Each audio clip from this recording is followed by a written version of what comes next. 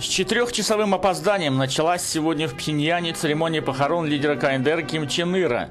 Такие кадры показало северокорейское телевидение. Травный кортеж проследовал от дворца Ким Сусан, сделав круг по центральным улицам Пхеньяна. Гроб с телом Ким Чен Ира установлен на крыше лимузина.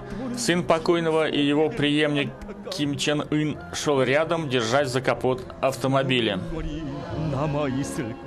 На похоронах присутствуют сотни тысяч жителей КНДР. На центральной площади построены войска. Иностранные делегации на церемонию не приглашали. По официальной версии, Ким Чен Ир скончался 17 декабря во время поездки по стране. Ему было 69 лет.